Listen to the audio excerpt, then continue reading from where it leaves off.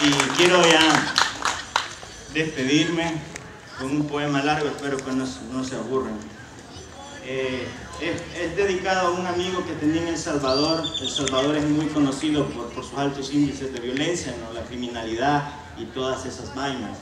Pero también tenemos ciertos crímenes que nacen del odio, de la, de la intolerancia. Entonces este, este, amigo escribía también, pero por su, por su forma de ser, su forma de vestir, por su forma de querer ser libre, no era aceptado en la sociedad. Entonces un día lo mataron.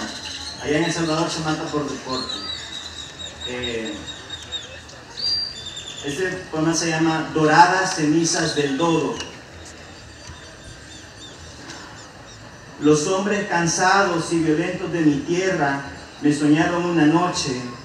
Soñaron conmigo tal vez por descuido y me vieron lleno de escamas, de cicatrices y me creyeron un loco. Me llamaron el diablo y también la bestia. Yo no tenía edad como ahora. Era una niña perdida que leía en los charcos las lágrimas de los hombres más alegres.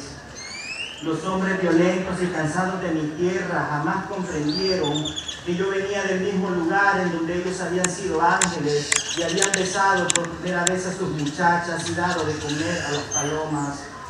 Me odiaron con dientes apretados, pusieron sobre mí una, una, enorme sombra para que nadie me tocara el rostro o encontrara en mi frente alguna respuesta de las cosas del cielo y de las cosas que duermen debajo de las rocas. El sueño de esos hombres era una larga calle hacia el silencio.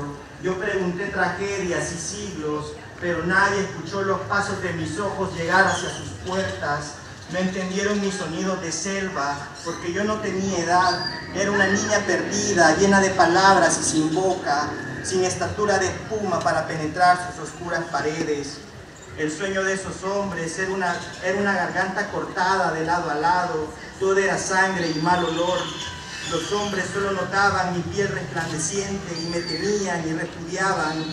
Me impusieron nombres de concreto y hielo a los que fui sordo y vacío, porque solo mis manos supieron sostener mis músculos. En el sueño no existían los días, se envejecía en las horas sin origen. Esos hombres arrastraron mi corazón sobre la escoria y maquinaron incendios en contra de mis senos mutilados. Yo corrí de sus jaulas y me hice de hojas, de insectos me hice y corrí más ligero en el viento.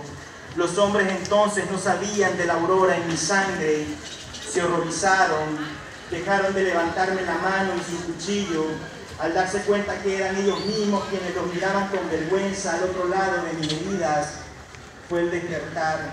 Su antigua violencia se quebró y sus piernas hicieron largas columnas de gorriones para sostener la casa de la esperanza. Desde esa noche tengo los años de, de millones de niños dormidos.